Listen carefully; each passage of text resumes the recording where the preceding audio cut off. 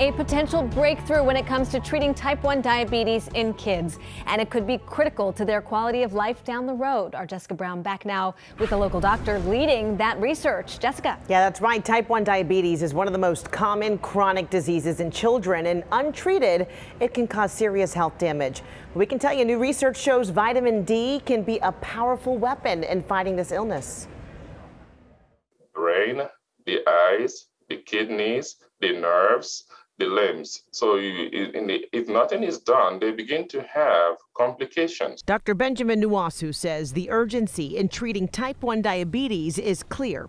The disease can have a serious impact even at an early age. His research at UMass Chan Medical School shows giving young patients doses of vitamin D when they're first diagnosed slowed the progression of the disease, keeping them in what's known as the honeymoon period of the illness. So for vitamin D, which is a cheap and easily available product to actually impact this phase, is significant. Classically, honeymoon periods last from three months to 12 months.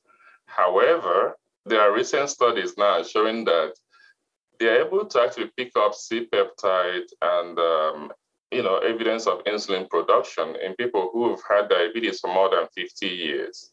So it could last for long in some people. Dr. Nwosu says there's more research to do in terms of the impact of the treatment, but the message to families living with this illness is clear. But I think that what our study shows is that if someone is diagnosed with type 1 diabetes, and the parents can actually feel confident to add vitamin D as a supplement to what they are receiving. Most kids are receiving vitamin D anyway.